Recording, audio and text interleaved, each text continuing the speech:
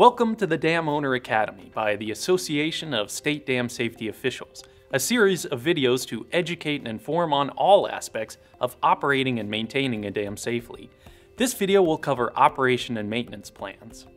Dams provide a wide variety of benefits including flood control, water supply storage, and recreation. However, they also carry significant risks by impounding large volumes of water that can be released suddenly in the event of a failure. The responsibility for dam safety rests with the owner. By properly operating and maintaining your dam, you can reduce deterioration, prolong its lifespan, and protect the public. The costs of operating and maintaining a dam safely are small compared to the consequences of failure, which may include property damage, expensive litigation, and even loss of life. A dam safety program, also known as an operation and maintenance or O&M plan, comprises activities you should perform on a regular basis over the lifetime of your structure. These activities fall into the following categories inspection, performance monitoring, maintenance, and emergency planning. Safe operation of a dam begins with a regular inspection program. Inspections help identify problems early before they require expensive repairs or remediation. Any properly trained person can assess the general condition of a dam through periodic visual inspections, which usually take less than a day to complete. You should perform an inspection at least once per year and following any major storm or earthquakes. Observe and photograph each component of the dam and document its condition. In addition to periodic owner inspections, your dam should also be inspected by an engineer with experience in the design and construction of dams at least once every five years. Your state dam safety program may also perform periodic inspections.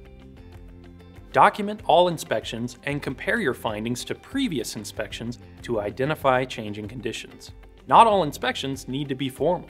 Any personnel who work near the dam should make a habit of keeping an eye out for problems as a part of their normal duties.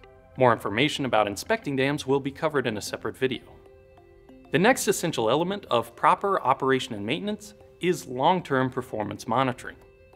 Many dam safety issues develop slowly over time, which means you may not be able to identify them during a single inspection.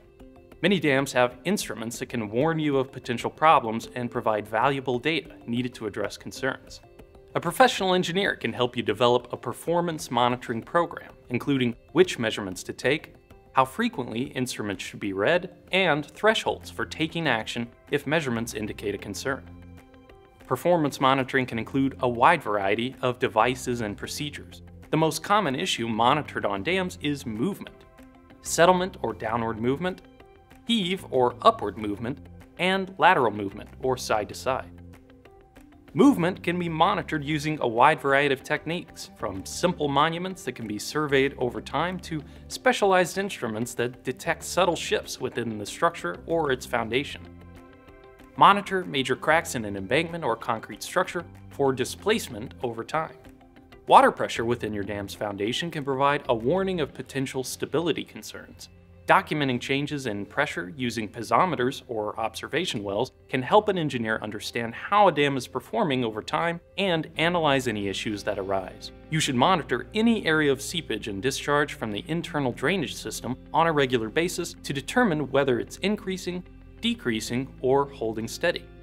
Seepage measurement can be as simple as recording the time it takes to fill a bucket of a known volume. You can monitor these parameters automatically by connecting instruments to a data collection system, or you can simply record them manually on a periodic basis. If monitoring indicates a trend or deviation from normal conditions, it may be necessary to secure the help of a professional engineer. Like all infrastructure, dams are subject to deterioration which may lead eventually to failure. By properly maintaining your dam, you will slow deterioration and prolong its lifespan, delaying costly rehabilitation or major repairs. Repairing erosion is one of the most common maintenance obligations for dam owners. Earthen embankments are particularly vulnerable to damage from erosion. Vehicles and livestock can cause ruts, wave action from the reservoir can cause benching erosion on the upstream slope, and precipitation runoff can create rills and gullies along the crest and embankment slopes. Regular and timely maintenance of erosion damage is important for maintaining a safe structure.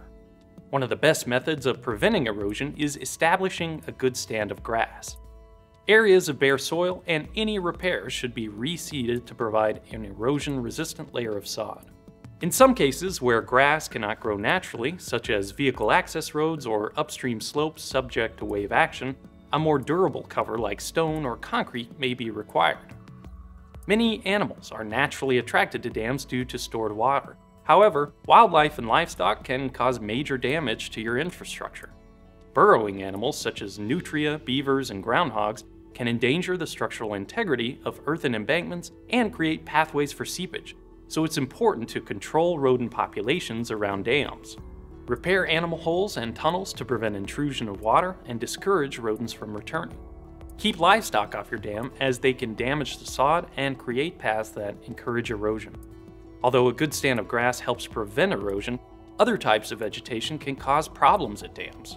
Overgrown vegetation can make a detailed inspection difficult and obscure potential safety concerns.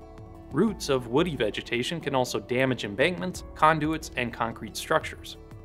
Keep your dam clear of brush, trees, and other unwanted vegetation. Cut down and remove brush to allow a clear view of the structure. The careful use of certain herbicides can also help in controlling vegetation on your dam. Regularly lubricate, exercise, and repair mechanical parts of gates and outlet works. Keep all electrical equipment in operable condition, including gate operators, instrumentation, and lighting. Inspect and maintain site security measures including warning signs, fences, handrails, and floating exclusion booms. Finally, keep your dam clear of debris that can obstruct outlets or spillways. Some problems may be too serious to be solved by routine maintenance. Serious damage or deterioration to a dam such as embankment slides, structural cracking, Sinkholes or severe seepage may require the assistance of your state's dam safety program or a professional engineer. The final essential element of a dam safety program is emergency planning. An Emergency Action Plan, or EAP, is a critical tool to reduce risk and protect public safety. Depending on the hazard potential, a formal EAP may or may not be required. However, all dam owners are responsible and liable for safe operations. Even if not required by law, you should be prepared to take action in the event of a dam safety incident. An EAP complements proper maintenance and timely repairs, but does not replace them. Your EAP should include at least the following. How you will identify and classify dam safety issues based on severity, what you will do to moderate a problem at the dam, including where you'll get materials and equipment that may be necessary during an emergency, a flowchart to notify emergency management authorities, and a description of the area downstream at risk of inundation from failure to help coordinate evacuations, road closures, and warning messages. Review and update your EAP at least once per year. Additionally, conduct a tabletop simulation of a dam safety incident to practice implementing your EAP at least once every five years. More information about preparing emergency action plans for dams will be covered in a separate video. Document all your dam safety program activities in an operation and maintenance plan. It should provide a description of the dam components, operating instructions for equipment, guidelines and schedules for inspections and performance monitoring, a maintenance log, and an accompanying emergency action plan. The Association of State Dam Safety Officials, or ASDSO, has free resources available to help owners operate and maintain their dams safely. Check out ASDSO's website at damowner.org for more information on the basics of operation, maintenance, and other topics on dam safety.